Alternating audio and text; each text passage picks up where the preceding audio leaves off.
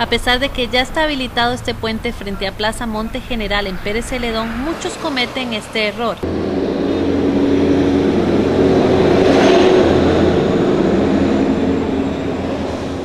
SN Sur Noticias fue a este sector para comprobar si los peatones utilizan o no el paso. Sin embargo, estas imágenes demuestran que muchos prefieren arriesgar su vida por evitar caminar unos minutos más. Pero otros prefieren hacerlo y dijeron que es mejor caminar por el puente que después lamentar la muerte de un ser querido. Eh, me parece bien porque la gente tiene que colaborar. Hay ocurrido accidentes aquí y es bonito que utilicen el puente porque es favorable. Sí porque eh, los que construyeron ahí la cerca es para que la gente no cruce ahí.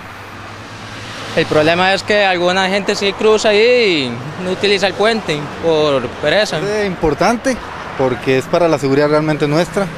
Eh, esta es la primera vez que lo voy a utilizar.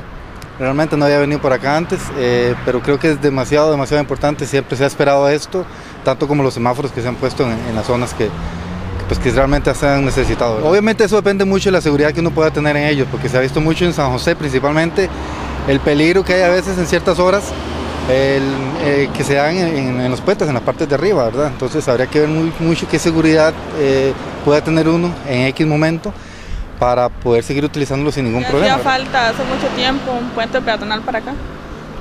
me parece muy bueno porque más seguridad. Sí. Yo prefiero pasar por aquí. Sí, nunca se da cuenta cuando pasa un accidente, ¿verdad? Y vaya a fallecer uno. Importante para evitar accidentes innecesarios. Precisamente durante la Semana Santa se dio la conclusión de esta obra y la apertura del paso. La construcción del puente peatonal es frente al centro comercial Plaza Monte General, debido a que en el año 2011 el Tribunal Contencioso Administrativo determinó la responsabilidad del Estado en garantizar la seguridad de los habitantes en el tramo de los 9 kilómetros.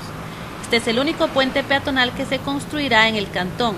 En esta estructura, para seguridad de los peatones, se están invirtiendo 241 millones de colones por parte del Consejo de Seguridad Vial, Así lo informó el Ministerio de Obras Públicas y Transportes.